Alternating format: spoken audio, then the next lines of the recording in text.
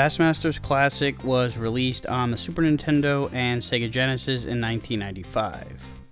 You play as one of various selectable fictional characters who compete in a bass fishing tournament, where you have to finish within the top qualifiers to move on to the next lake, and there are four lakes total.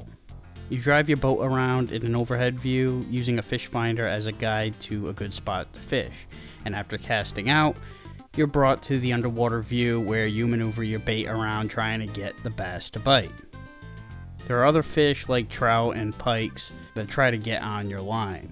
You can catch these guys if you want, but they're not going to count for anything in the competition, so you'll want to steer clear.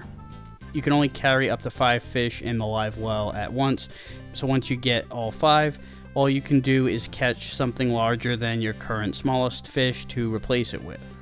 There's a clock at the bottom of the screen. The day runs from 7 a.m. to 3 p.m. You've got a 20 minute grace period after that, so you've got to get back by 3:20 for the weigh-in or your catches from the day won't count. Of course, this isn't in real time. The clock is accelerated.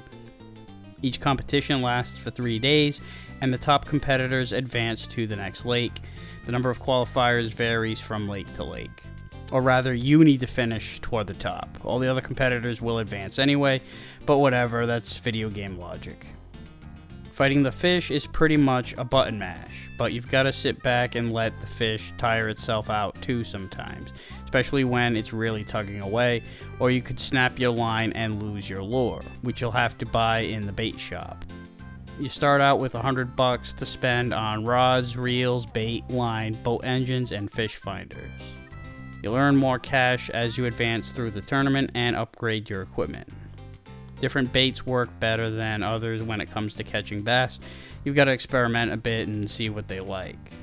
Although in the Genesis version, it's a bit more of a pain in the ass. You not only need the right bait, but you have to maneuver it to make it look more lifelike, and the controls for doing so are different from lure to lure, which can be all referenced when scrolling through your lures you have to be a lot more tricky to get the bass to bite in the Genesis version, whereas in the SNES, they're way more likely as long as you get close enough. Aside from that, the only other differences between the two consoles versions are minor, mainly the quality of the graphics. Like usual, it's a little more refined on the SNES, and the water just plain looks clearer. Besides competing, you also want to be on the lookout for the Fischus monstrositas, a legendary gymongous fish that was once hooked by this old fart's father, who wants to put it on display in the nearby museum in exchange for a handsome reward. This fish is hanging about in a hidden area of one of the lakes, and is a hell of a fight when you get it hooked. This fish is exclusive to the Genesis version, however. The gameplay is pretty, I don't want to say monotonous, but samey. It's just drop your bait, get them to bite, and then exercise the shit out of your thumbs with the fish fighting. But then again, I mean, it is a fishing game. There really is only so much you can do with it. I guess they could have developed some kind of mini game to get the fish hooked, like a power meter similar to the kicking meters of football games, or a timing based button combination like Parappa the Rapper.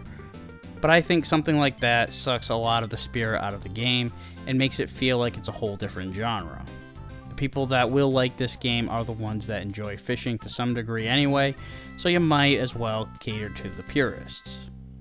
Not that it's a total simulation, otherwise you wouldn't even have this underwater view in the first place, nor would you have this much directional control over your lure, but that's just grasping at straws. The saving grace for this game is the competition element, in the race for the most poundage of fish. Having stakes keeps you interested and forces you to find a healthy balance between patience and urgency as the clock ticks down, and the mysterious Fischus monstrositas also adds a layer of intrigue as you try to hunt down this legendary catch. The bottom line is that although there isn't a whole lot of dynamics to this game, it can still be a fun experience. It just depends on if you're into the subject matter or not. It's not for everyone. And that wraps up this edition of Aqualung's Game Reviews. See you next time.